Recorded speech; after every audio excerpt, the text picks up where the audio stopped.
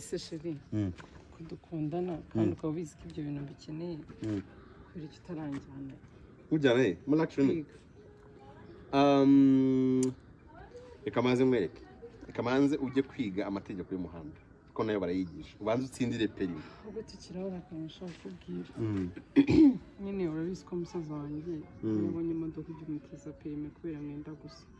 Agiye gutwara umuntu uri bumuhereze uduceri duke wamutije perime ca nambara ibyo byashoboka ntabwo kwi- kwi- kwigira provisoire birahenda cyangwa kubyo wakorera perimi wagiye muri action college ko bari bukwigishe ukwezi kumwe ukaba uyibonye kandi wowe wiga inshuro imwe gusa ukwezi kumwe ukwezi kumwe gusa umaze gukorera provisoire perime. Provisoire uba wayikuyemo n'ibyo n'icyumweru kimwe waba wanayikuyemo ahubwo bibaye ngo ugahita na perimi kandi perimi ukora rimwe uravugisha ukuri tayari nta na rimwe umutiza mutizi iki yagiye kwiga ko batanahenda. Action college. Bakorera mu mujyi muri chic muri floor ya mbere. Ikintu cyagutunguye mu kukibona binyuranye n'uko wakiyumvishaga mu bwonko bwawe ni igiki Mm. ni yanike yannick? Gute mu buhe buryo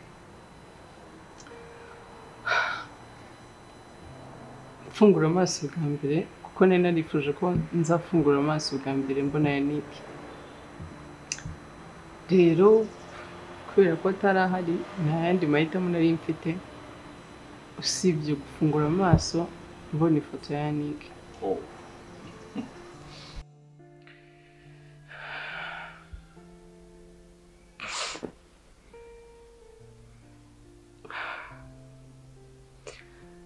shiri nyine umbabarire nanjye ntabwo nifuzaga kumura amaso yanjye atari umuntu ngiye kureba. Gusa nyine nk'uko wabinsabye ko ngomba kuba umunyembaraga kandi ngerageze basi ndebe ko amaso yanjye yaba yarahumutse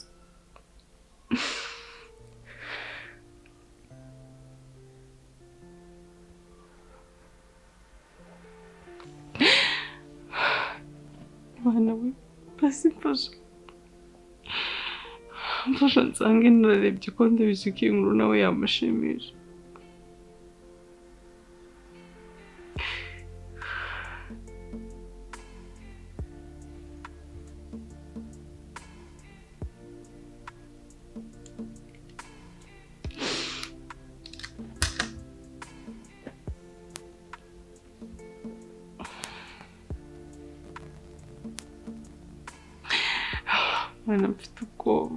gusa nsanze byaranze kuko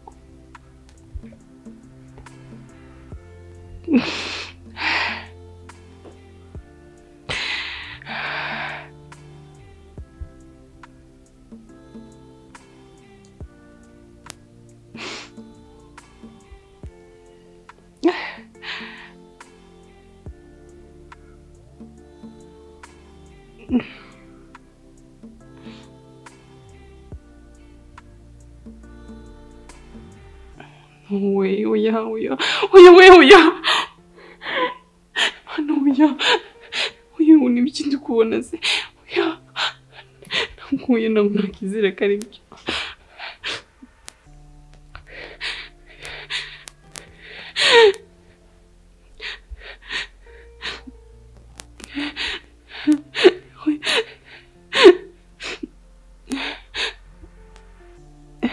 mwana we mfasha mama ndebe neza mwana wabikora. Ubizi ko yanike akeneye kuba umuntu ukomeye. Abizi ko uri umuntu uharanira gukora ibishoboka byose kugira ngo bigende neza. Nyambo wareba ahangana.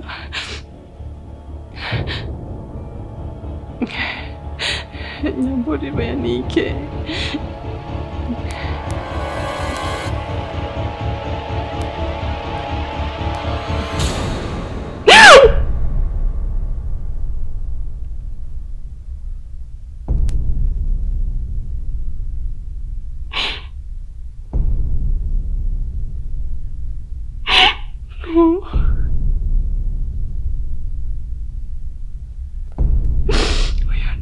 birashoboka nyambuna kuba bararebye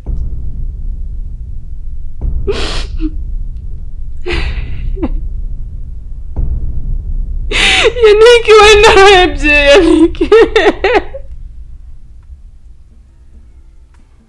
yanike nabonye ngwinure yanike we. Nyamba uri kubona. Ndi mu nzozi nyambo no nyambo kanguka kanguka nyambo kuwareba nyambo no kuwareba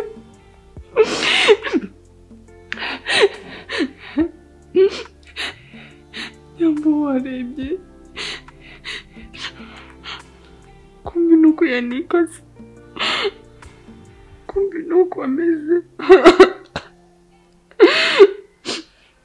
nuko ujari wanjye ameze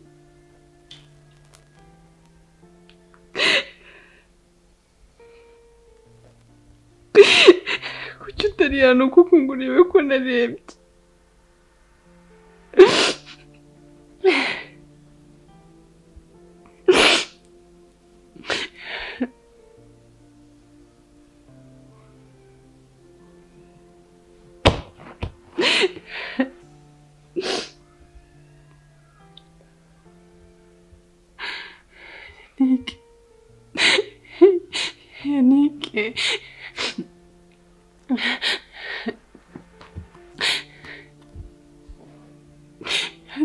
ukuntu asa ni nakavuga. Disi ukuntu ari mwiza ku mutima ni nako ari mwiza ku isura.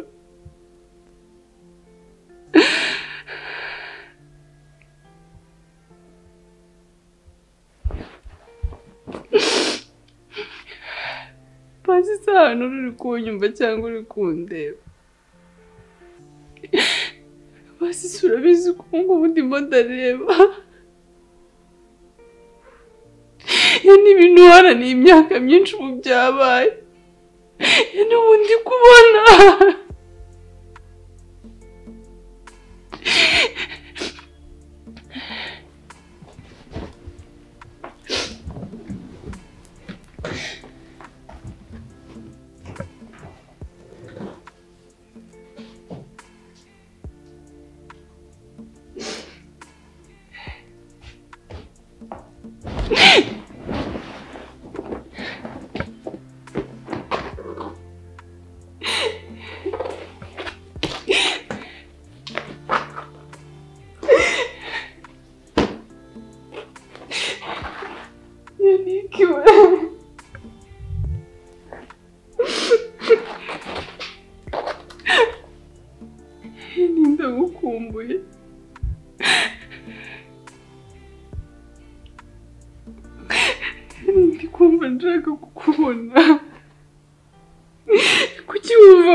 Koko? Kuki wumva iyi nkuru nziza ko nayimenya udahari?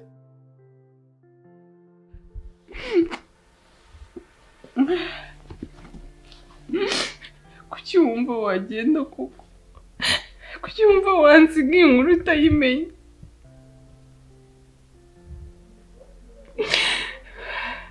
Gusa nyine ndawukumbuye. Nyine ndagukunda cyane birenze uko ubitekereza. Tutari kumwe biri kungora.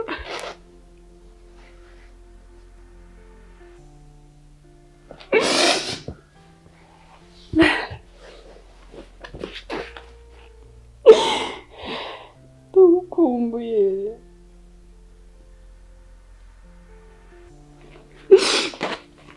Gusa nyine ndabizi ko ntabwo uri kwishimira kubona mfite umutima udakomeye wifuza ko umugore wawe yaba umutima ukomeye. Yaba afite umutima ukomeye. Bivuze ngo rero ngomba gukomera. Ikindi kandi niba naragusezeranyije ko nzahumura amaso ari uko ini ubu ngiye kongera kuba impumyi. Kugeza igihe nzongera kubonera isura yawe. Ikindi kandi nta muntu ugomba kubimenya.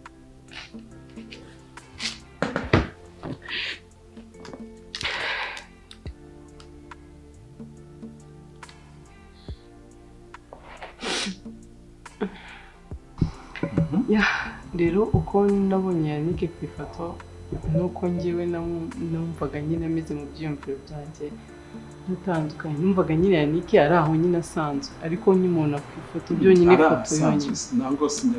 nyine atari umusore nyine mwiza cyane nk'uko namubonye ku ifoto. Nyine nyibona ifoto nabonye ari umusore mwiza w'ibogari nyine ukabona ko nyine uko asa ku isura n'umutima nyine bihura kabisa.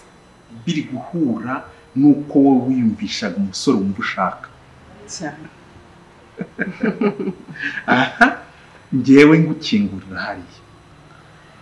Wumvaga ko papa yanike ari umuntu umeze gute? Noneho nuko ndamubonye wabonye ameze gute?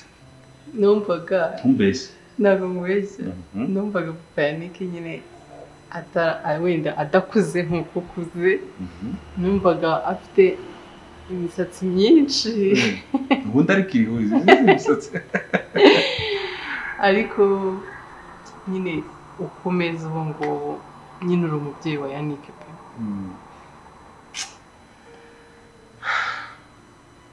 ariko burya isi ni isi twe tuyeho gutya ariko nyine ibiduhisha ibyayo gute ukuntu sinzi ukuntu nabivuga ariko okay, ni mu buryo bubiri. Ukuntu nyine wari umeze ureba ntugira gute mu gukanguka wakubaye iruhande cyane uhaye urukundo ntumubone. Eh?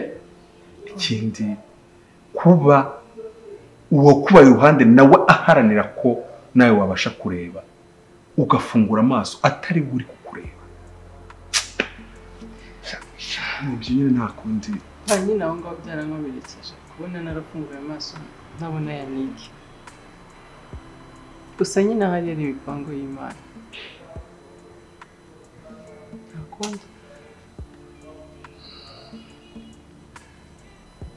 Ya ni imipango y'imana ni imipango y'imana ariko okay none se kuri aka kanya mu buzima urumva uri gupanga iki uri gukora iki mbwira muri samari ibyo uri gupanga byose numve.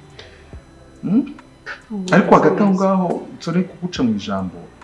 Nagira ngo nagusaba imbabazi. Njyewe ntabwo nabonye umwanya wo kuza kukureba kubera ko nawe impamvu urazumva. Bo, narakurikiranaga ariko. Arakubizana nkabaza ameze gute? Ameze neza? Ameze gute? Se ntabwo uzaba ngombwa ko hari operasiyo ikorwa bakambwira ati reka tubanze turindire ture. Buri kintu cyose naragikurikiranaga.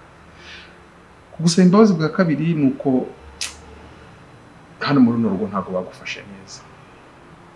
Urabyibuka turi gusangira ibyabaye urabizi. Vrema nasaba imbabazi kubw'umuryango wanjye utarakwakiriye neza.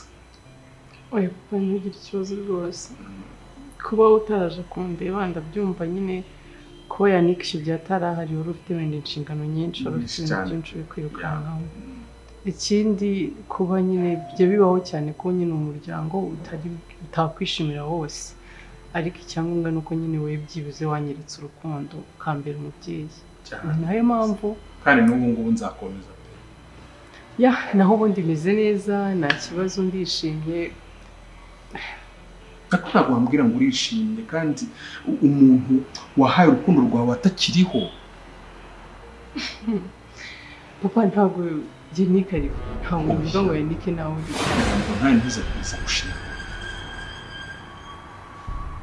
Ntuze gushinyagura umuhungu wanjye yarapfuye nariyakiriye nta bindi bindi ntabwo dukomeze twibanire gutyo icyo uzakena nzakiguha ntugire ikibazo rwose. Nibinaba ngombwa no muri kampani nzagushakiramo akazi kugira ngo uze wicaremo ariko yapfuye nk'uko ubitekereza nta nubwo wenda ari toroma mfite nk'uko uri kubitekereza. Wenda umbabarire ko kano kanya ari bwo ubimenya ariko ntabwo Yambo. ko ari umwana mwiza utabona kuki wabaye umwana umaze kureba? Kuki ukomeza gushinyagura kuko sheri sheri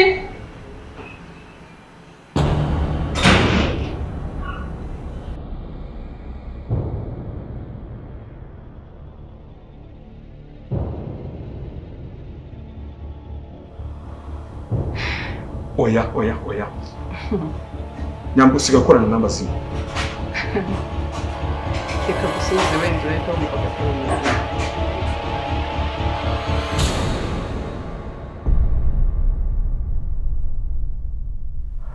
shari musubize wenda urahita yumva ko atari umuzima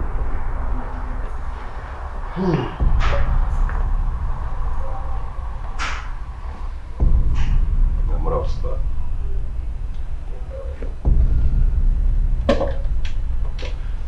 Yannick tumureho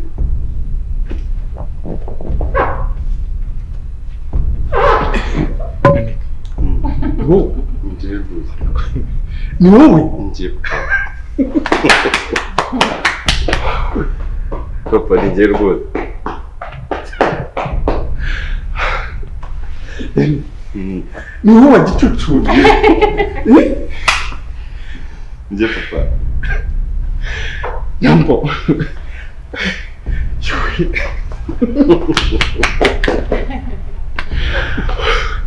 Papa ni njye ndakomeye rwose ndakomeye oya yo ni cyo dize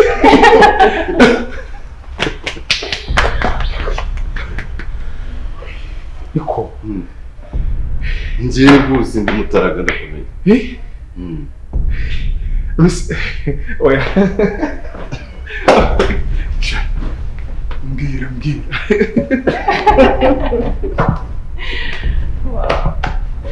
mbwira mbwira mbwira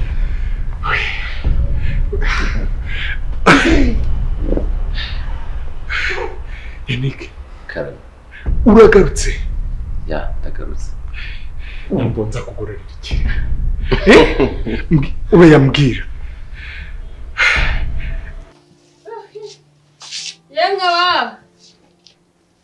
Yemwe Jojo! Yewe! Yego. Mwiriwe. Yewe, twega izuba. Sani wowe uraho Muraho neza. wisobeha karibu hanze se None. Waje- waje twinjira mu nzu se harashyushye. Ibaze niba hanze hashyushye gutya mu nzu hameze gute nta n'umuyaga urimo. yewe hari n'ikizuba Reka twicare hanze. biteze Ni sawa. Mumeze muteze hano? Turashima imana turi Muraho bazima. Ni sawa. Umva, mvuye aha hepfo.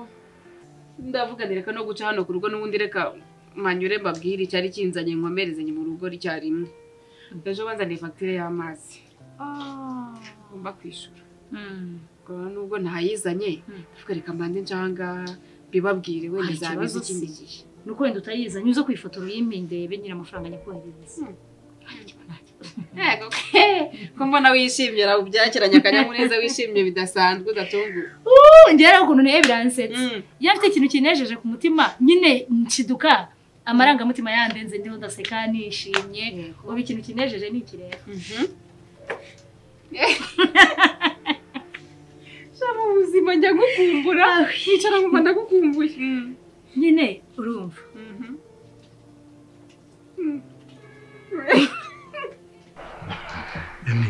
Oya mbwira mbwira Eh? papa ni njyewe rwose. Ko ari njyewe. Ko kariya ni ntabwo ndi kubyemera neza. Kereka ugiye muri dushe ukambura imyenda yose nkareba nimba ari wowe koko. Eh? papa ni njyewe rwose.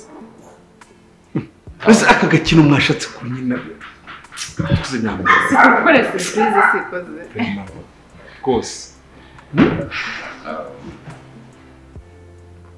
turahera he urambwira urahera he mbwira sinzi nanjye aho Eh? rwose Um, ariko nyine mbere na mbere bazi ubyizere ko ari njyewe dore na twa dutwi disi do.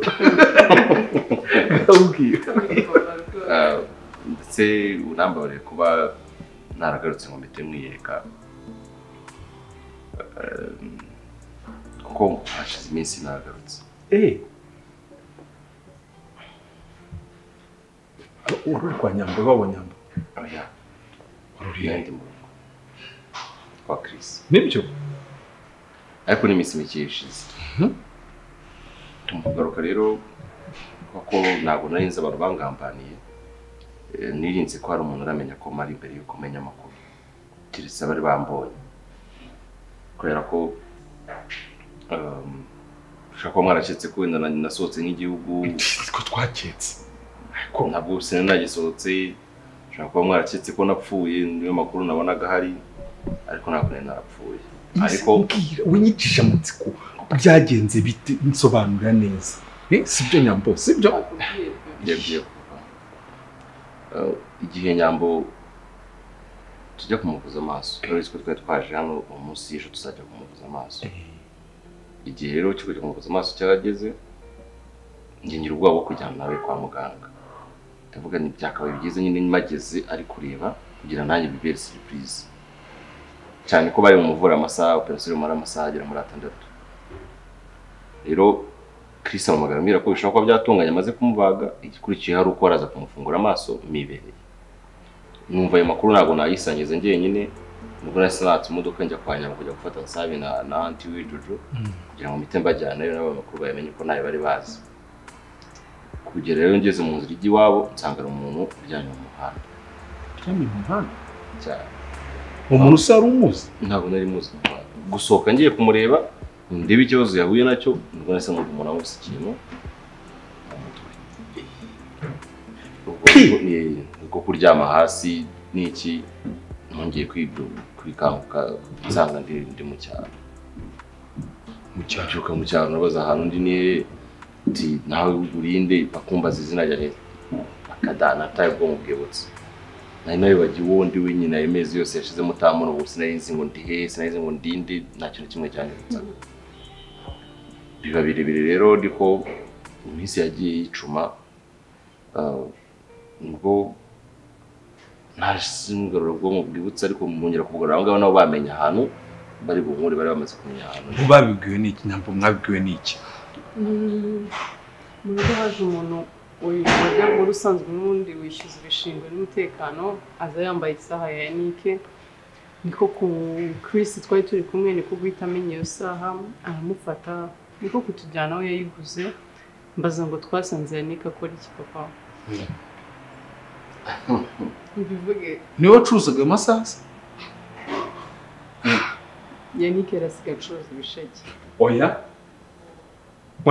Wageze gucuruza ibisheke cyane ni birebire papa tuzafata umwanya tuganire birambuye. Waranabiryaga cyane. Bwari ubwo buzima. Ah, nabona kubyibushye nkavuga ni ukubyibushye Ah, wazanye amabinga. Mbese Ah, ibisheke amaze kubyibuha uzi ukuntu twamuzanye ameze Eh. yari yarananutse umva yaryaga ibijumba amatike nyine Akarenzaho igisheke. Ah, twamuzanye yarananutse. Kandi banamukubita aho hantu yari yaratakaje amaraso menshi. Ubu rero yamaze kongera kwisuganya Ubu- n'imbavu zarakiranye kubera ko ushikura ibisheke. Nari nabimenye bwari ubwo buzima. So rero ubwo mahirwe ni bwo bahise bangeraho ariko bumva isaha niyo yanabaye. Eh sawa ya. Buri saha umuntu wayiguze kugera i kigali umuvandimwe arayibona ko ni- nkabona imana iba ishaka ibintu bizaba nyine niko kuza kuntabara mbangarutse gutya. Ariko kuko n'abashaka kumaze kumenya ngo ninde wamemukiye ndirinze ko batangaza amakuru yanjye. Kuba ari no kuyatangaza umuntu yamenye ko nagarutse akaba yagaruka no kumemukira bakugeraho usanga wacuruzaga ibisheke. Byibyo basanze waratangiye kwibuka. Ikintu neza ni uko bangezeho ubwonko busa nkaho bugarutse. Nyambo wahise umumenya? Namumenye. Twamugezeho ahita yikubita hasi. Nawe bangezeho umaze kwikubita hasi. Twasanze ari kwibuka ariko ibintu ari kwibuka hari bimurusha bimurusha imbaraga. Ku buryo yari ari kuzengerera twamugezeho yamaze no kugwa hasi nta azi nuko twamugejeje i kigali. Gutya sibyo ndabizi ubu bisheke ntibyari byakuva mu mutwe. Turatugura ingingo eshanu. Urye- ni- niko nanjye niko bimeze. Umushakira ibisheke yakenyeye. Eh, ya ya niko bimeze. Eh Mm. Yannick. None se mbwira iyo famiye yagutoye uracyayibuka? Tuzajya kwigororera. Cya papa ibyo narabirangije kera cyane. Nibyo nahereyeho mbere yo kugira ikindi kintu nkora. Ariko nanjye ngomba kugira icyo nkora. Abantu bankoreye umwana. Ntabwo ntabwo byarangirira aho ngaho gutyo gusa. Ibyo ntabwo bishoboka nzagenda ngire ikintu kuko wababonye uzambwira uti bakeneye iki n'iki? Tugende tukibahereze ku buryo nabo bumva ko bagiriye neza umuntu w'umugabo cyane rwose byo? Kuri njye mbafata nk'ababyeyi banjye ba kabiri. Rwose. Sinzi. Ni marayika murinzi nyine wakoze ibintu nk'ibyo ngibyo? None umaze kubona intambara ariko. Ariko ariko papa nawe urumva nyine byari nk'igitangaza kuri njyewe kumubona ari kureba kandi narabanje ndabimuhisha nawe amaze gukira neza nibwo nawe nabimweretse uzi ko yarize papa? Abonye uri kureba. Papa nawe eh bayambwira nuko urabona ubundi wakundaga nyambo ariko amukunda afunze amata. None umaze kubona ariya amaso y'urwererane ameze kuriya intuza. Rero urabibona ukuntu ameze sibyo uri kubibona eh? None uranawe uramubonye mbwira mu mutima wawe se wumva umeze? Ah, nakubeshye kubyakira byarananiye ndetse nk'uko abivuze amarangamutima yarandenze. Ariko cyane ko warabasha no kumbeshya ngo ntabwo ngo ngo yabonye ngo byaranze ndagenda ndiheba kuko numva bisintangiriyeho nangira gukomeza gutangira kwiga uburyo nzamukunda niko nonaga icyizere ukazabona n'undi kirarangiye ubwo amahirwe rero biba surprise anyereka akabona amaso nk'ayo yararize kuryama biramunanira kuryamura wigaragura Eh, ahubwo si papa mama ari so mama wawe rero ntawe uhari yagiye mu bushinwa yagiye kurangura mu bushinwa tugiye gushira nka n'icyumweru agiye yari mu bushinwa ariko gisipe arabageza aha ngaha nta kibazo gusa ariko nyine we ni we muntu wa mbere wari wafashe wari wavuze yuko adekarara yuko wapfuye. Njyewe nakomeza kumubwira nyabuneka mu gihe cyose polisi itaragira ikintu tubwira ntuzavuga ngo umwana wanjye arapfuye njye numvaga ko byanze bikunze ukiriho ese ko utambwira ukaba ibaze ko ngize n'isoni. Ikintu giteye ubwoba ni igiki oya ntabwo ukeneye ubwoba ahubwo nyine ndi kumva. Okay ubu noneho ibintu bigeze. Wakwemera ko kashi yagiye kunyerekana iwabo yanyeretse ababyeyi? Ubu mama we na papa we baranzi. Bivuga ngo ndi umukwe ni umukwe yagiye bavuga ndi umukazana wizewe. Ikindi wambwira? Ubwo ni byo byagushishikaje wishimye byakunejeje urimyoje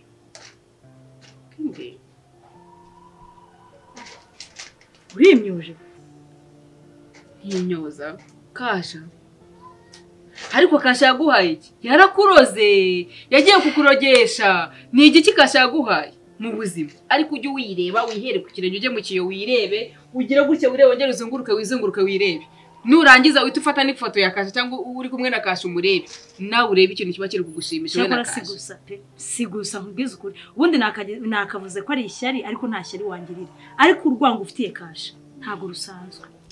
Kasha noneho uwakubwira abo babyeyi ugiye kurakarira. Kasha murakarira ariko abo babyeyi be nkubwiye ni ababyeyi beza ni ababyeyi baganira barasetsa. Nyine uri aho. Yaranyakiriye aranshimira ngo rwose kasha wacu ngo afite umugore mwiza ise egumana uzi ukuntu bari bamfashe nk'igitangaza?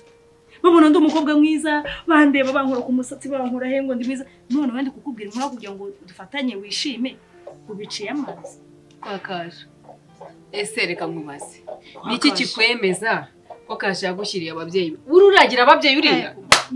Sha, uri umwemera gato. Noneho na nyina na se ura- uratekereza ko uriya sinzi niba yaranabyawe ahubwo yaradumbukijwe ngo bu. Ntacyo reka twemere ko yadumbukijwe. Noneho abo babyeyi bamudumbukije. Niwe yagiye kunyereka. Uriya n'ababyeyi agira sha noneho harabagira imva ko bavuga uriya ni nyina barasa.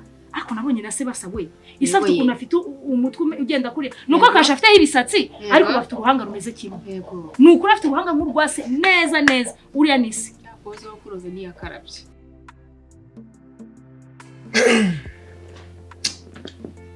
hano wanjye rero uretse rwangendanye nyine yaje ihuriye nk'iyagatera ikaza ikanyikubitaho bintu bibi ntazi uburyo binangizeho nta wundi nzi gukora.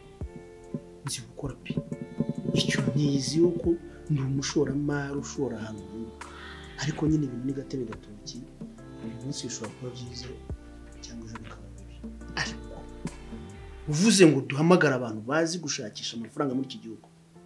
Ntaza mbere. Ntaza mbere rwose ntugatekereze cyane imihombere yanjye. Ariko nzi ko bitewe n'ukuntu uri kugenda umfasha nanjye ntazakugahisha. Uzajya kubona ubundi rwose ibifaranga birushye turazamutse tubaye abaherwe nk'uko byari bisanzwe.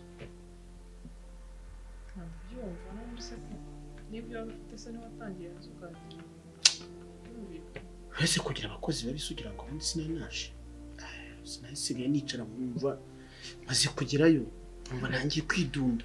Ariko byibura nimara kumera neza ubutaha uzajya ubyicaramo tuze ureke kongera kudusiga nk'ukuntu. Cyane rwose. Ubu mfite amaporoje menshi menshi menshi mu mutwe ariko hari ahantu ndi kureba dushobora gukura amafaranga. Mhm. ndi kuhareba nkabona hariyo amafaranga. Gusa urabona igishoro wampaye ni gike? Ushobora gukora iki? Udufaranga duke kuko urabona nk'uyu ufite amafaranga afatika. Nkagenda hariya hirya mu makaritsiye. Nkavanamo nk'ibibanza nka bibiri byiza bya bindi nguze neza. Nkabishyira hariya amezi nk'atandatu nkongera nkabitanga. Amafaranga yazayisukiranya ntabwo urabona miliyoni umunani wampaye ndagenda nagera ku kibanza cya mbere bati miliyoni cumi n'eshanu. Mpita ukaba ukibona icyo ntabwo cyunguka mwana. Wanjye Eh, ibibanza byunguka biri hejuru ya mi- ya miliyoni cumi n'eshanu makumyabiri. Icyo ni cyo uba wizeye ko nukigurisha uragikuba kabiri. Mbese nyuma y'amezi atandatu ugiye gukora ntisunguze ikibazo cya miliyoni cumi n'eshanu amezi atandatu bakamuha mirongo itatu. Urumva ayo mafaranga ari meza. Wa- wayakorera uri gucuruza ukayabona ayo mafaranga? Zibaho cyane. Ku butaka. Eh. Ah, ubutaka ni imari. Naguraga ahubwo mu gikuyu cy'umurage usirinde gupfusha amafaranga gusa uyajyana mu bintu bidafite akamaro. Uzajya ugura ubutaka none rero ukamusabe kugira ngo aya mafaranga wampaye atazampfira ubusa. Reba ukuntu wanyongera nk'izindi miliyoni zirindwi. Rwose ukanyongera izindi miliyoni zirindwi zibe cumi n'eshanu nanjye mu mwaka umwe nzakwereka icyo ngezeho. Isi kurangura ko ufite amangazini ko ko mucuruza ko amafaranga yararanguye nduza njye na sikoti niba turi kwirukankamo amafaranga kashi ubwo warangura ntabwo wabura amafaranga usigarana mwana wanjye. Rwose ibyo nkubwira ni ukuri pe. Ni amafaranga azatugirira akamaro twese. Njye ujye uyambaza umbwira uti mu mezi atandatu umaze kunguka angahe dore ko ntiyakwereka nkubwize ukuri. Uwakuroze ntiyakarabye Ya- yumva- yari avuye mu murima n'uburimiro n'iki byose araza araguhereza urarya. Ni byo bituma udafite ubwenge ubwenge bwawe bwarayobye bwaragiye. Reka- twajyaga duhuza nk'ubu kuki usigaye umva warambengutse nkubwize ukuri umva nkubwize ukuri. Urabizi ndagukunda mwifata nk'umuvandimwe ariko uki- mu buzima bwawe kirimo kashi? Ucyumva kashi? None se nubwo udashaka ko nshyingirwa ngo mvanga nanjye ngire umuryango wishimiye ko nza- nzahora hano? Ushyingirwa na kasha yego. Uriya ni umuntu. Ese ka- reka mubaze jojo. Ubu wabuze abahungu beza hano muri uno mujyi wa kigali beza baberanye nawe ku buryo ujya gufata kiriya cyohe. Araje arakubeshye ngo aba ni ababyeyi banjye. Ngo nawe urabyemeye nawe yatoraguye. nawe yatoraguye nawe bameze nkawe nuse ko ari we imana yampaye naburanye imana ariko wa mukobwa we wa uhagaze ese wanshyigikiye ubundi ntabwo nagushyigikira ubana urukundo rwawe nakwacya ntabwo nagushyigikira okay noneho nshyigikira njyewe n'ibyanga nzaba nihumbiye. Nibinampira nzaba mpiriwe. Hakuwe unshyigikira buri munsi mvuze kasha duhita dushwana umva nkubwize ukuri. Niba ari n'icyo ahubwo sinzanagaruka kubera iyo mpamvu. Oya nawe ntugakabye kasha kasha kasha reka nkubwize ukuri. Kasha. Ese wowe ntabwo wizera ko umuntu ashobora guhinduka? Oya. Mu bahinduka ntabwo kasha arimo kubera se iki kuki umucira iteka kuki wumva ko atari umuntu muzima. Wumva ko atahinduka ariko jojo ejo twazahura uri kumbwira uri kwicuza. Nyine nkubwira iryo jambo mu matwi yawe kandi udatuzwamenye nyine icyo njye ntari kumva. Eh. kuki wumva ko tuzahura ndi kurira kuki udashobora no guteganya ko tuzahura ndi guseka aha ngaho amahirwe masa we na kasha wawe mama yo.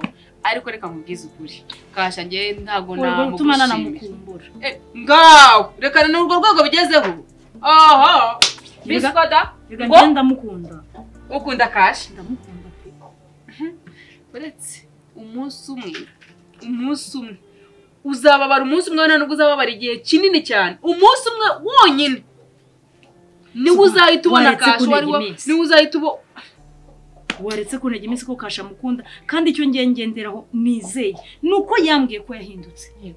Ni ukuri kandi umuntu usenga rero ngiye ngomba kumwumva senga urarasenga uriya ntabwo asenga ibyo akubwira byose arakubeshya ni ukugira ngo akwigireho mwiza wongere umukundo wongere nawe umugarukire wigize umucamanza ukigira kunyanyasa umushinjacyaha nk'uko kunyanyasaga none se mbere. ubwo ko wigize umucamanza ukigira umushinjacyaha tuzamenya amaherezo yawe ari ayahe ntabwo ari ukugira umushinjacyaha Nawe cyangwa iki? Ariko hari ukuntu ureba umuntu ukamureba n'isura ye ukabona ko ari umugome. Ugira urwango. Ndabizi impamvu umwanga umuzira nuko yigeze kukunika. Cyagiye ni cyo kintu gituma umwanga. Jojo nubwo yanize ariko hari n'ukuntu ureba umuntu ukumva n'imvugo ye n'indoro ye ugahita ubona ko no mu buzima busanzwe ari umugome ari mubi. Uriya muntu aranicana ariko tekereza kasha imyaka yose twabanye yari ata- yari ataranyereka umuryango we nta babyeyi be narinzi none muri iyi minsi ngize amahirwe arakijijwe agarukiye imana nanjye arangarukiye none hanjyanye n'iwabo aramperezaza wowe urumva utagomba kubyishimira urumva utanshyigikira ntabwo nagushyigikira ahubwo igihe mwabanaga yari atarakuzanira agatwe k'umuntu agafashe gutya mu ntoki.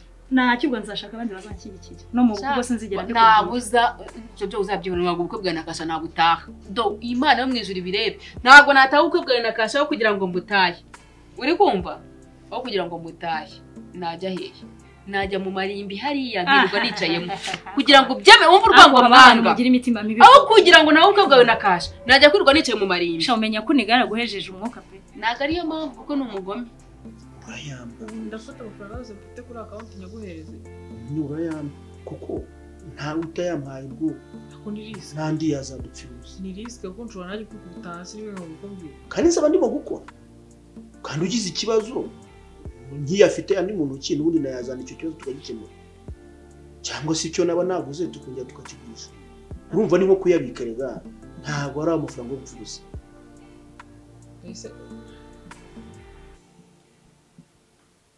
ese gusigara baramasa ko bigoye basi reka ngurishe eshatu. Ese ubwo n'ubwishe eshatu. Nkabona ikibazo cya miliyoni cumi n'eshanu nkabona miliyoni imwe bakagitwara ubu tuzaba tudahombye.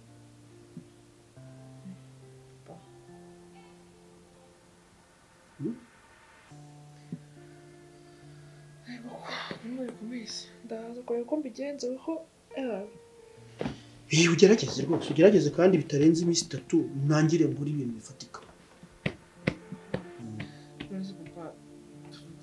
Wenda tube tubiretse ariko amafaranga uraza kuyamba baye ibyo biraza gukemuka ntabwo ari ibintu biraza rimwe mwana wanjye ariko ikibazo cyangwa ikibazo umukozi.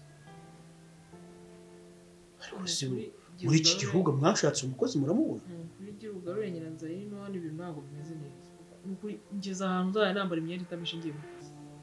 Ubu se mama ndazajya ajya mu gikoni mubwira njye no hariya yo kumesa imyenda ko ibyo biri kumbaho naje byakubaho ariko uretse ko mwirengagiza nyiranzayina atari muri uru rugo nta wundi warubamo. None basi uramufite cyangwa ufite ukundi kuntu bigenza ariko urumva wanjyana mu byo gushaka abakozi mwana. Papa ko wamwirukanye bikaba none se kumwirukana bivuze utabitekerejeho mbere. None tugeze ahantu noneho nsigaye mbona mama yunamye mu gikoni nanjye isoni zikanyica bikamuha ko ngenda nkamufasha guteka kandi mba nanjye mbavuye mu kazi naniwe ntabwo biri kugaragara neza. Kandi ubwo nawe uko bitari byakubaho nawe ejo imyenda biraza gushira. Nyanshirana gute se wowe na nyoko muranga ntabwo kuki mubwira nyiranzayinu cyane nyiranzayinu nyiranzayinu yawe? Papa bigutwaye iki? Nyiranzayinu yongera kururana na sikoti muri ubu. Akurana na sipoti Eh. no kurana na batezi reka umenye ko Scott usibye usibye na nyanza rero wenda yaba yaba ngiye Scott twirwa mu kazi Scott ngiye apfa no kumvugisha amagambo abiri. Scott ari bize kandi ikindi numva nyanza rero na Scott bakuru bati si abana se abana niba bari mu bintu bw'ubukino bw'aho ngaho bwa nta kubona kigero Scott ukuntu asa umuhungu umusore ungana mwiza kuri yakurana nyanza rero nimba ari zo mpungenge ufite rwose zireke. Scott ahantu ageze na nyanza ye n'ahari ntabwo byari njyewe ndumva nyiranzayinu adakwiye kugaruka neza amaherezo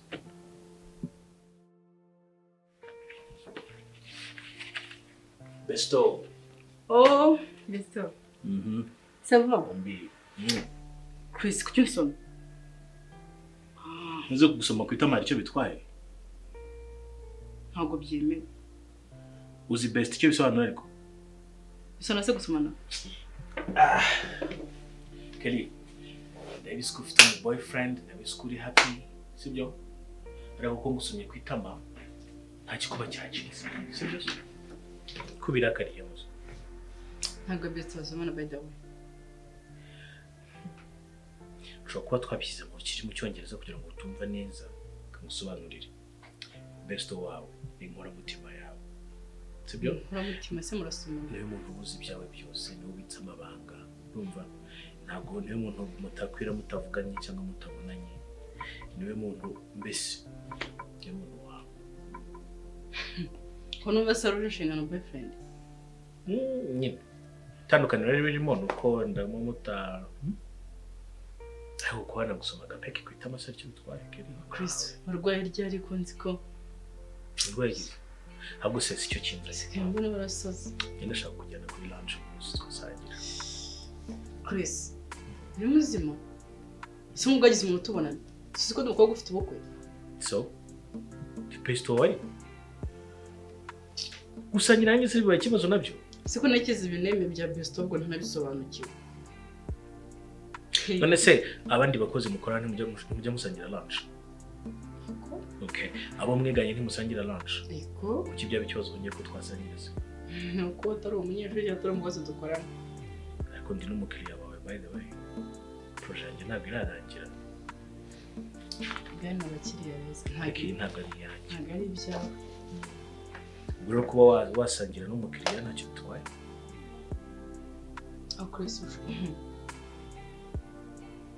arega ndagukunda nk'umupesito wanjye. Inshuti yanjye ariko ndagukunda aho Chris wajya umbabarira besito ese umukunda ute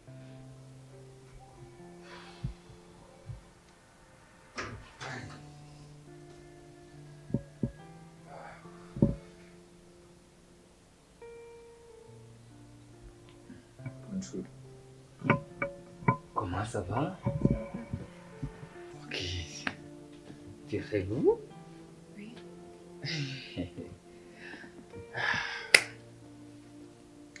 Nustese. Hmm, amakuru se. amakuru meza Kwicara muri salo wenyine se.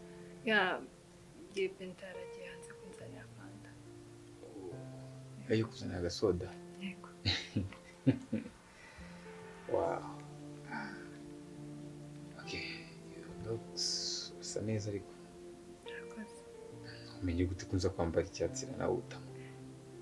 ahubwo wanyiganye Gute se nari nakubonye. njye ni byo nari- niyo yari vibe y'umunsi niko Mm. nambaye Nawe sikunda kujoyinga kuno munsi. yego Ubundi uyu munsi ngomba kwambara icyatsi. Ya- iyo ngiye kuri shop yanjye nikinga ashobora ko on friday ngomba gushyiramo icyatsi bamaze no kumenyera abantu benshi ko nambara icyatsi nanjye ariko nkunda icyatsi biragenda se sawa harya muri make ntabwo turaganira harya ukurikira bamumurana na benita ku kazi nigeze kubwira se ibyo nkora wowe oya ntabwo twabiganiriyeho uba waba uri attractive se kumva ibyo nkora cyane oh, that's good, that's good, that's good, that's good. okay ngewe ndi fashion designer. Ncuruza imyenda. Okay muri make nabanje kuba umumodo nyine. Buri myenda irambera cyane ndavuga ati kanye nyambara nayicuruza. Mm. so i always call people to come and buy my clothes. Ese ntabwo wizi ko bikubera? Ya birambere barabikubwira okay muri make ncuruza imyenda ncuruza imyenda nkanambika abahanzi utari wantumira se ngo nanjye uce unyambika ahubwo wahageze ya ukuntu ufite utudresi twiza tw'abakobwa really? Yame na naomi ejo naomi twe turi kumwe yaje kugura ni benshi cyane ndabambika ok ntabwo ariyo mpamvu runaka wenda impamvu ni ukugira ngo mubaze ati utuye inaha ya. Exactly ni muri kabeza muri za karitsiye z'abajura ah. Oya ntabwo ntabwo ari iz'abajura Mm, Ya. mm, utuye hariya hejuru hejuru hariya ku musozi. Eh, hariya hafi kuri hariya nyine hafi ya yiriya banki iri hariya hirya. Si uyibona banki. Ndayizi na ok ndayizi so uyu munsi ntabwo wagiye gukora se mwafashe agakonje munsi niyo mpamvu rero nabonye mfite off ndavuga ati nta mpamvu ko naguma mu rugo utaza gusura benita Okay. Ujya ukunda ibintu byo gusohoka se like chilling, getting some dinner, kunywa akakofi. best friend i mean ni nawe ukunda kurusha inshuti zawe zose. Eh? Urumva ukagira gutya. Numva igisobanuro cya besito arayikasamutwe byanditse ku Oya. bintu Sha, noneho nk'ubu ngubu nakagombye kuba nzi ute ah, ufite izihe gahunda? Boyfriend we niba yakubabaje nkakubuza urumva? Siko numva ushigaje no kuzambaza umwenda w'imbere baranambaye. Oya bityo ntabirenze. Sinanabimenya n'ubundi buryo. Cyokoze ariko nizere ko byo mu byo wanga kunsi utazabyanga. Ariko gusa urasabye na byo kibaye ikibazo kenny. Come on. Ikibazo kirimo uzaza so lunch lunch Okay. Mr. Chris. all right Oh, best. um, ndagutegereza rero Ntabwo wabinkora. Hmm? Genda muri parking ndagusanga.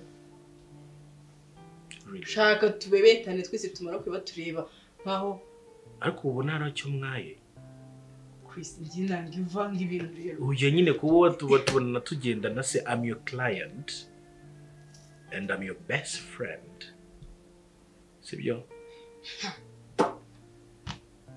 dore nk'ubu ngubu uramutse ugize ikibazo ni we Okay. babaza nanjye ngize ikibazo ni we babaza karame Dear our client sibyo. Wagiye muri parking mu modoka ko ndi bugusange. Eh? Wagiye muri parking mu modoka ko ndi bugusange. Yakunda. Okay. It's a request. nta kibazo nta kibazo n'ubundi mfite phone call ngiye gukora Christopher.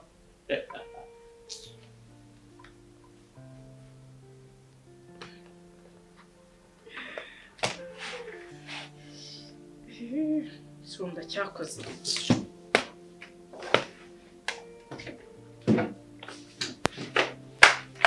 Ujya ukunda gusohoka se like mm, cyangwa ka evening walk.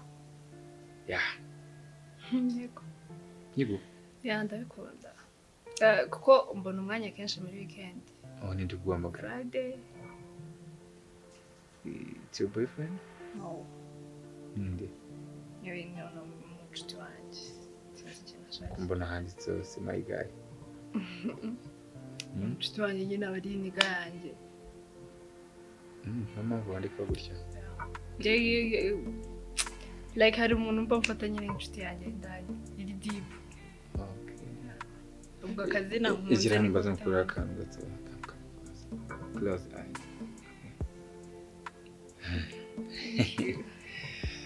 Uzi ko hari ukuntu ufunze amaso n'ibitsi ibintu. Hari ahantu nigeze kujya. Okay, it's a long story ntabwo nabivugira hano. Nzabikubwira maybe next time. So ni ryari se ufite umwanya uburyo buryo twakwisohokera tukagenda kwimuvingira like I just need to get a friend. Nyine kuba nanyifite umushuti. Yeah, like my best nyine nyumva tukaganira. Ndabizi ushaka gutekereza ibindi bintu wenda tuvuga ko ari ibindi bintu ndi gutekereza none na just being a best turi inshuti tuganira turi kurazi na know? Ibintu nk'ibyo.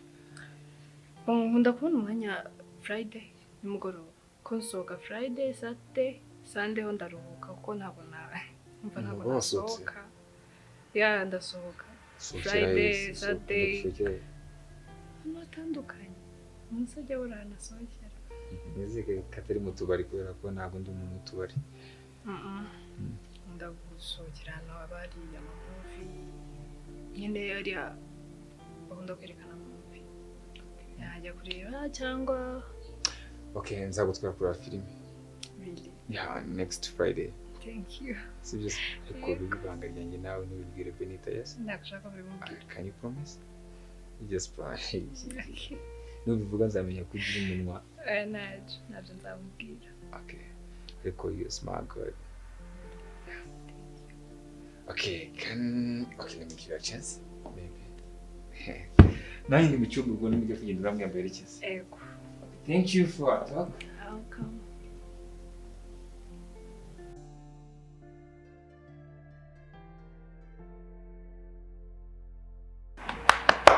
umva mufitiye inkuru bwira he?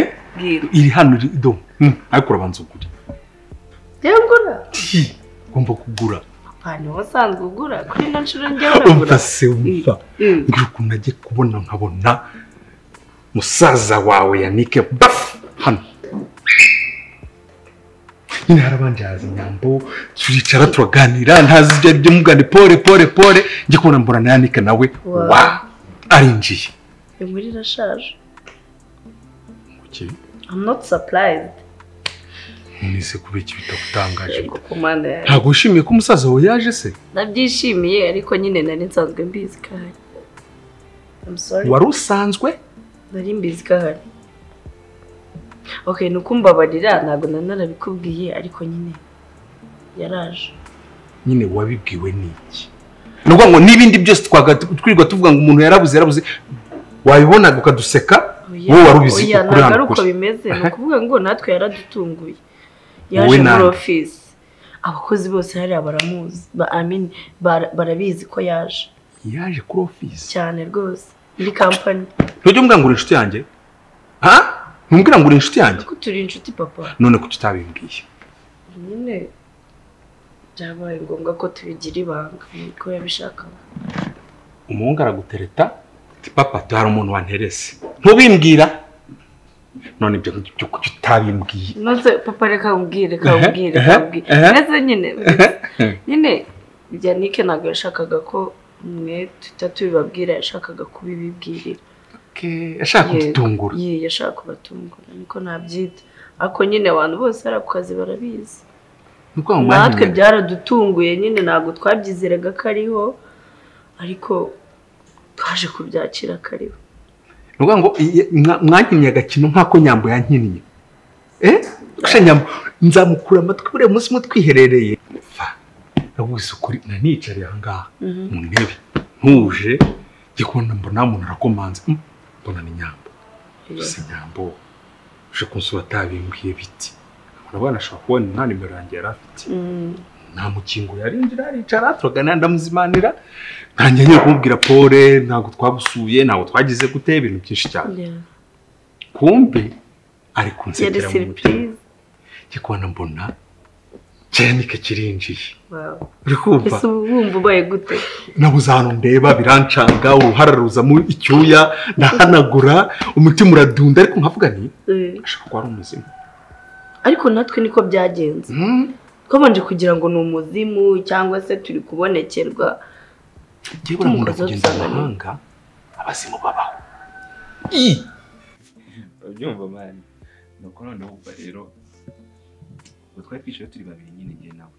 Aba mbere bari bamaze kuvaho nyine. Mutegereje ibisubizo. Dutegereje nyine ibisubizo. Oya iyo moment ubwanwa ubona twari yishimye. urukumva noneho wiyumva gute mu by'ukuri. Ibyo banza ibintu bafashe ibizami barabijyanye urategereje mwebwe ni uko mpereye hagati nkababwira ibintu by'ibisubizo gusa. Kamanzi ubundi mpere aho byatangiye ibintu byose. Twari twicaye kumwe. Nasanze ari abantu benshi cyane. Nasanze burya wa mugani w'umunyarwanda ngo ntabwo ari urw'umwe. Musanze murusangiye muri benshi. nuko tuba tugezweho rero nyine twe dukurikiyeho icyoba kiba kizamutse mu nda nyumva bikajya byigira buri babwiye uriya mu baby dokonda ati kamaze nikoze kuri toilette angatica urashaka kwirukanya. nakubeshye ntabwo ari bugaruke nawe buriya yarabibonaga ko jama agiye icara ahangaha urahaguruka ahangaha tumaze kumenya ibisubizo byose. Mm. umwana oke nta kibazo. Twumva muganga avuze ati injira. Nk'umugore yaje uryamwe ngo injira. Bro none mpita mugana ahangaha none mpise ndangira pe. Nuko rero turinjira muganga turaganira ko nabanje kubanza kujyamo njyenyine ndi kubisiga ubwo nyine umukunzi. Muganga atambwira ati oya nawe muzane nimuzane muri kumwe muri babiri. Muganga nyine afite ibizami ari aho ngaho areba nyine nta kibazo. Ndavuga nta kibazo nafata ibizami ariko najya kunsubiza ndibuze kwemera ko tugendana noneho hari ukuntu babanza kubaganiriza. Utwo Eh. tugambo ibyo byahise bikurikiraho. Se gato wivuga ngo tugambo hari ijambo rimwe ubundi riryana. Ubwira ngo guse usanze waranduye byagenda bite wabyitwara iki? Ni icyo kibazo rero yahise agize ati yahise ambaza. Noneho ubwo rero muganga atangira nyibwo yari kwandika n'amaze ibintu byose yasoje. Ndamubwira ati bimeze bite se musore? Ni byiza. None se kakubaza akabazo kamwe nk'ubu ngubu ko dufashe ibizamini uramutse usanze waranduye. Rya jambo. Wabyitwaramo. Nta nubwo nabanje kujijinganya muri ngo wowe ibiki n'ibiki bishyize ngo ngiye muganga. Gira umpereza ibinini ntange kwimura ibinini bitangira hakiri kare ndabizi ko nanduye. Muganga ati itonde Ito- nagiye niyakiriye mvuga nti byarangiye njyewe naranduye. Muganga avuga ati itonde muganga nta kibazo. Namwe njyewe ndamutse nsanze narananduye nyine. Nafata imiti nyine gutyo bikagira inzira bikarangira okay. Ibizamini rero maze kubifata. Mugiye kumwongera mwicare hariya. Ndabasubiza mu kanya. Ubwo basubiriza ahantu mu kazu. Arakazu rero kinjiramo bakakubwira nyine ku buryo nyine uvamo wanamaze kwiyakira. N'utunini wadutaye twicaye rero hashize umwanya avuga ati ati ni muze rero mbahe ibisubizo. Ambwira jina mwene jurire sigara umaha ndaza kuza nkubwira uko ibintu bimeze.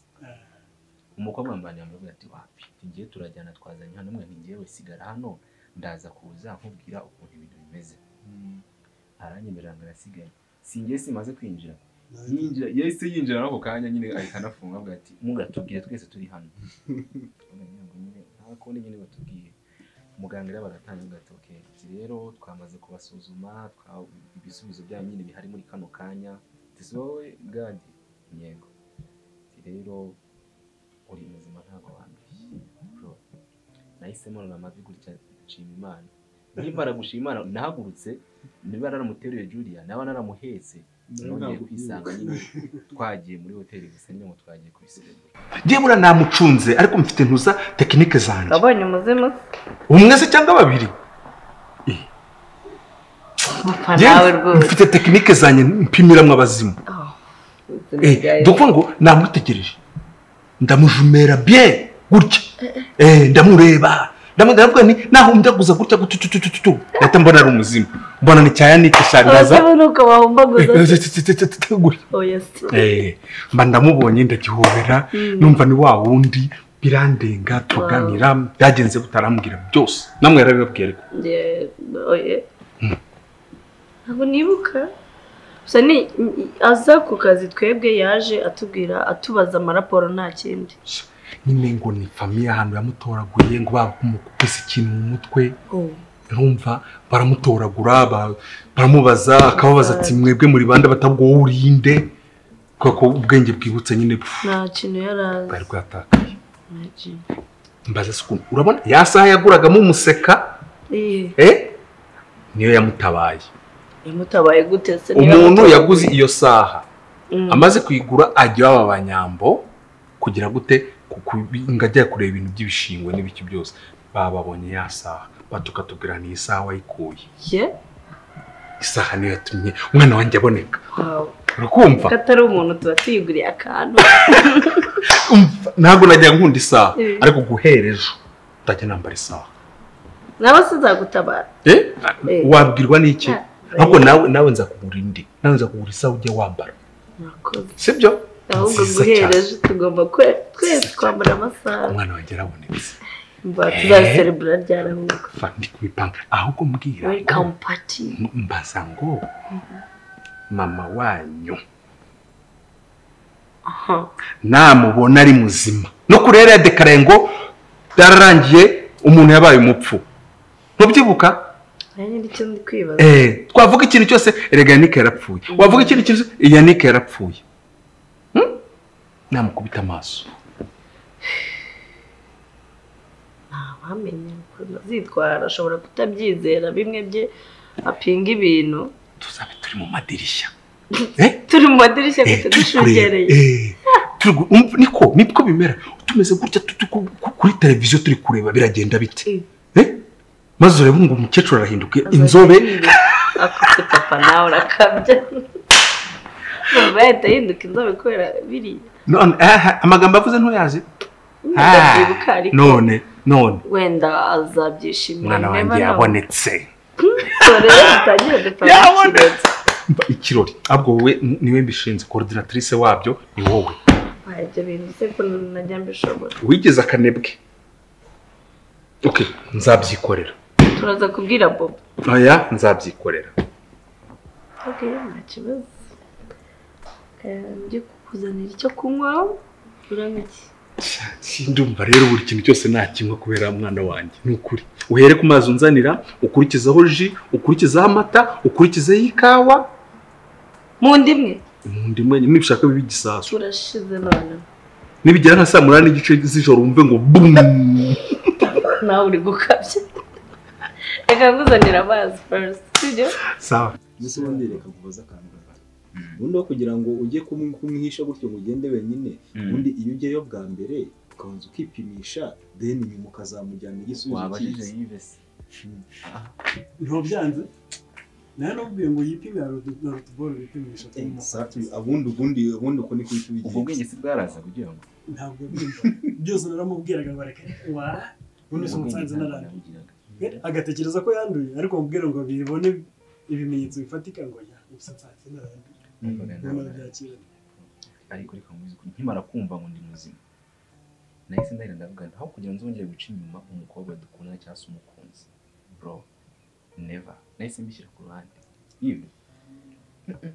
Welcome in the gang. Ahubwo wenda uretse gufata uwo mwanzuro wo kuvuga ngo ntuzigera wongera guca inyuma ngo uwo mukundana cyangwa iki ntabwo bishoboka ahubwo ufata umwanzuro uvuga ati ntabwo nzongera gukora sex ntiporoteje ndamutse mfashe uwo mwanzuro n'ejo nahita nziruka nkajya ku kandi kana. Ariko uzi kuba mani narahuye n'akana nanagasabye kananyine bro urabyumva? Mu minota mikeya ngize imana akaba karanyemereye nta bwenge nari mfite bwo kumbuka kondomu. Twarakoze. Ni n'iminota ine gusa twakoze nabisobanuriye yive manyibanyeyo iminota yaragiye kuzira iminota ine. Ese ubundi ubwo yaba ari isaha? Wahanyanyaje wakoze isaha nari buyivaneyo hariya ho noneho kuko isaha imwe ikwicira ubuzima. Nyamara mujye munyumva. No si ukuvuga ngo ni ukukumva ahubwo wa mugani umuntu akwiye kujya n'ababanza agasubiza ikirenge inyuma agatekereza kuko nta mvuge gutya. Ibyishimo wenda by'iminota itarenze na mirongo itatu bigahita byangiza ibaze plan uba ufite mu mutwe z'ibintu wifuza gukora ibyo wifuza kugeraho ugahita ubyangiza mu masegonda angahe just kubera ko utigeze ufata umwanya wo gutekereza. Gusa nyine icyo namaze kubona cyo cyangwa se icyo ndi kubona muri ino minsi wenda uretse ko njye namaze gufata umwanzuro nkavuga nti sinzongera guca inyuma umukobwa dukundana.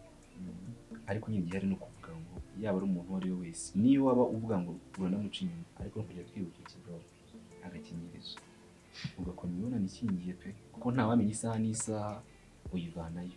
Ubona umukobwa wabona ukuntu ari inzobe ari agatomati bro ukavuga ati uyu nguyu ni muzima ngo ni akamarayika washingamo arimo kayicyura da ahubwo ahubwo uze kunyibutsa nituzamukana nyiri kuri farumasi ntawe se upimisha no ngenda ashaka kugura bwa butesite utesitinga umuntu okay binita ntabwo tura- turaryama sibyo ariko mba nzi ko anytime bishobora kugutungura utwo tuntu ndashaka ko twibikaho kugira ngo nzipime turi kumwe nawe mupime then tubone nibura uko duhagaze. Kubera ko kubwira umuntu ngo tujye kwa muganga ahita yumva nyine ari big deal ahita yumva ari process ndende. Ariko asanzwe udufite mu rugo. Ntabwo yabyara wakwirinze nyine irinde aho kugira ngo uzagere aho ngaho reba reba ive ntabwo ntabwo ntabwo wakwizera umubiri kuko anytime uraguhinduka sibyo twebwe hari igihe tubitekerezaho kumva ngo urakomeye kumva ngo umeze neza nyine ngo ntabwo wabijyamo ariko iyo wageze muri iki kiriya gihe ntabwo umenya uko bigenze ngo uyu gadi natubwire ubu se agadi ntashobora guhagarara nakatugira inama kandi we byaramunaniye reka reka nkubwire deva nuramuka ugiye kugura n'ako utahe n'agakarito. Afite in- in- inama z'agakarito. Buri munsi. Mbese ngo agakarito ngo warakazanye reka nkubwire ibyo ngiye nkubwira ujye wirinda bro. Nicyo kintu ndi kubona cyo cya mbere. Niba gukora imibonano mpuzabitsina nyine wumva ko wowe mutazabikora nyine udakoresheje agakingirizo turakuzi ngewe ngiye gufata amasengesho muri iyi minsi itatu yo kugira ngo imana ikuremo ubushagarira sinjye mbona umukobwa numve mushaka hari igihe yabumara muri ugashiduka ubaye ikiremwa.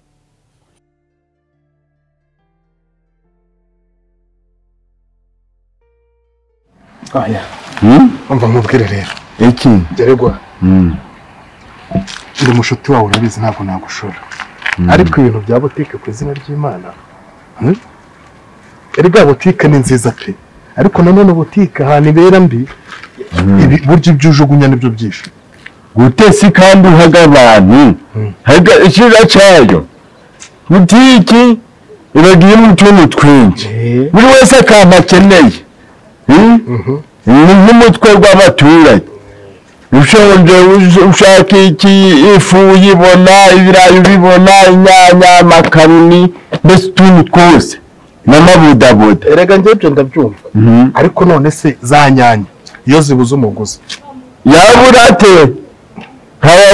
Kabiri kangahe babijugunya se ndeba kandi abuze zabura zirabura nyine. Noneho indagara buriya rero. Imbeba zizi zirakubi imbeba. Imbeba zigatwara agapfunyika. Muri butiki zabagamo imbeba.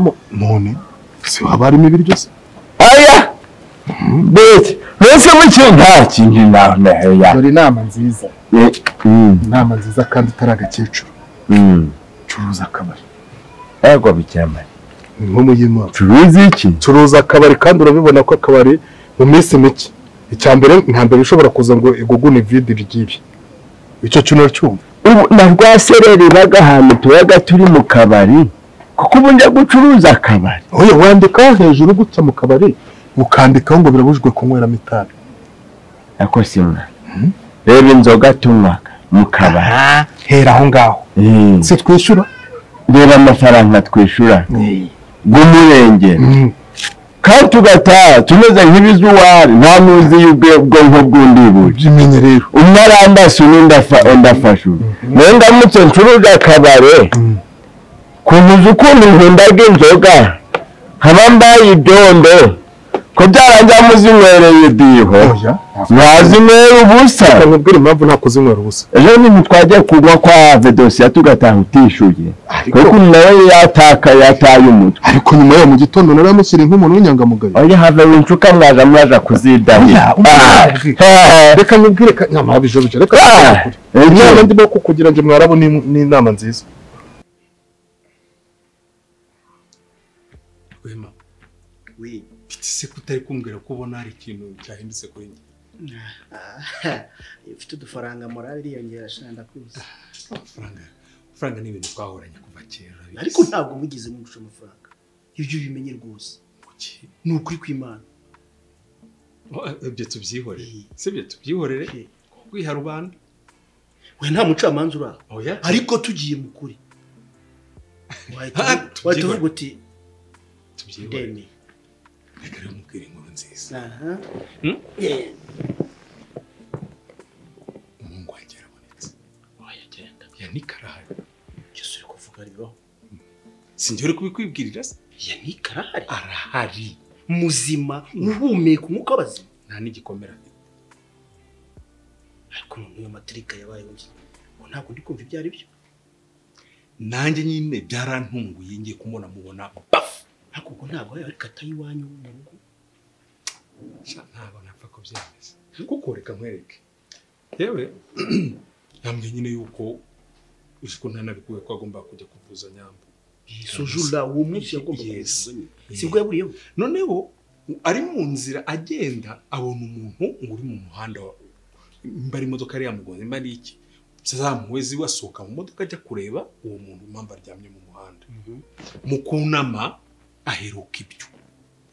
Nyuma mu- yaho hakurikiye yumvishe ikintu mu mutwe pafu mu gukanguka ari ahantu mu giturage yarataye ubwenge bwibutsa nta kindi kintu yumva. Ese ko numva aho hantu harimo kwishura umwaka?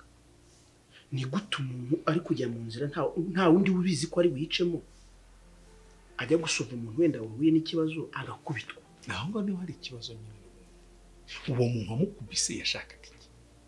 Ese yabwiwe n'iki kari guca aho ngaho? Sesa ni ho hari eh, rwiziringa.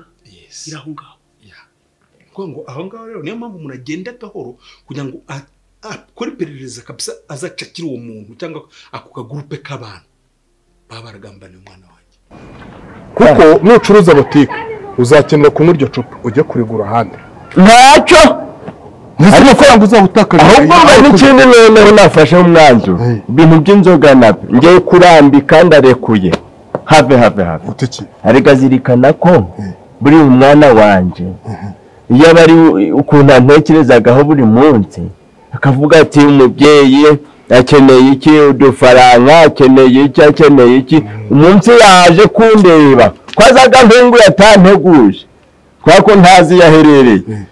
Ukuntu azaga aramutse asanze n'abaye ibyome n'abaye ibyatsi. Cyangwa se n'inkuru ikazaguruka ikabimugezeho dore ko abantu basigaye bameze nka gwi gwi gwi gwi. Ugasanga inkuru imugezeho.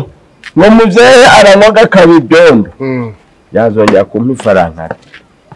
Ubundi se yaguhaga kandi uzimo ko yaguhaga kandi abizi uko uzimo ntabwo yabimenya neza. Ubwo urashaka kudutura? Nyine wenda mbere yari abizi. Kubera ko nawe yabaga hano. Nta kuntu yaravuga ngo agiye kumbwira gutyo kandi atazinsengereraga. Ariko ubu ngubu ari kuvuga ati muzehe ame- akwiranye n'indi faranga. Ashobora kuvuga ati ndarekuye ubundi ndi kugumya kugamuha ari igihwinini adatekereza nta n'ikindi agabyazagamo umusaruro Ka- unyumve unyumve wa mugabo. We ko ibi bintu atari ibyo ibaze uvuze ngo ugiye kuja afasha umuntu. Ukumva ko aguruka umufasha akubwirana mu bintu bidafite gahunda. Wakunda si kumuha ifaranga ryawe. Ibaze ubugabo butanywa inzoga kuri wowe noneho. Ubwo bwaba bumaze iki? Ariko bwaba bumaze iki? Ubu watuvamo ukagenda ukadusigira akabari koko bija sinanze kubazamo. Ako nari nshaka kwihesha agaciro numpeshaga agaciro akanyitaho abone ko yitaga ku muntu muzima. Hafi hafi nkubwire. Ubu iki gihe mu myaka umaze mirongo ingahe unywa inzoga Mm. iki gihe ni cyo wari ugiye kuzinywa noneho utuje ukaniga no kunywera mu kirahure ahubwo kubera ko wabonye amafaranga. Wenda ndanazinywa ariko nta naje gucuruza akabari oya oya oya akabari ko n'urundi rwego ni mbese ni nko gupfa nabi. Ushaka ubyige gusa nari nyuze aha ngaha wenda nari nyuze aha ngaha. Eh. mfitemo nka bitatu. Ugende ntugurire agacupa kamwe. Mfitemo nka bitatu? Eh nanjye fata kandi ariko se reka nkubwire sa oya kantereke burya ibintu byose bisaba kubikurikirana hakiri kare. Niyo nafashe umwanzuro. Oya mbabara mwana ndayikundagura bize. Sinayiraraga nshaka kubyitoza binjemo. Ntabwo nzongera kunywa inzoga. Cyangwa se reba imyaka umaze reba imyaka mirongo ingahe umaze inzoga urabizi? Ndetse ndamanza nzamanza mbaza umuhungu wanjye. Nimba kongera gusoma aho byemewe. Ariko si ayobewe wazampa uburenganzira. Ntabwo nshaka shangwa azambone mu ndi muntu udafite ubwenge. W'igihwinini reka nkubwire. Rwose uramutse utaje waba umbabaje. Bibaze kuba na- amafaranga nayararanye pe. Nise hajya ngo ufite angahe? Ibihumbi bitatu. Bene ni icupa rimwe dushobora no kwiyongera. Ah, oya. Ariko se reka tugende ariko njye gusoma aho bwanyu nta kibazo. Kangende nkamo ngasezere ni akanyuma ariko ariko rero shaho gusa ariko uri kwiki ntukenubire cyo tugende ubu si ubu bakinguye n'akaburushete kangahe aho bw'iyo burushete shaho none se mu biganiro byawe na yannick ntacyo akeka wapi nta kintu ari gukeka kandi ntabwo yagira icyo akeka aka kanya atarabanza kureba burya umuntu ukwakiriye na- n'akangononwa cyangwa ukwakiriye neza ntubura kumubona gusa nyine twese twacecetse harimo sinzi uko nabivuga. Harimo kwibaza kwinshi. Kwinshi kuri hagati y'abantu baziranye. Cyangwa se iwanyu muri famiye hashobora kuba harimo mbese bari abana banjye nibo bamugambanira? Simbizi ariko ntabwo byumvikana. Uburyo umuntu ashobora kumekinga shuwa ngo adolphe araca muri iyi nzira isaha iyi n'iyi turaba twashyizeho piyeji iyi n'iyi ku buryo tumucakira. Aho. Abantu bari babizi ni abana banjye sibyo? Umugore wanjye ni uriya muganga nyine wagombaga kumuvura nta wundi muntu wari uzi icyo gihe nyuma amaze kukubwira ayo magambo wowe wakoze iki?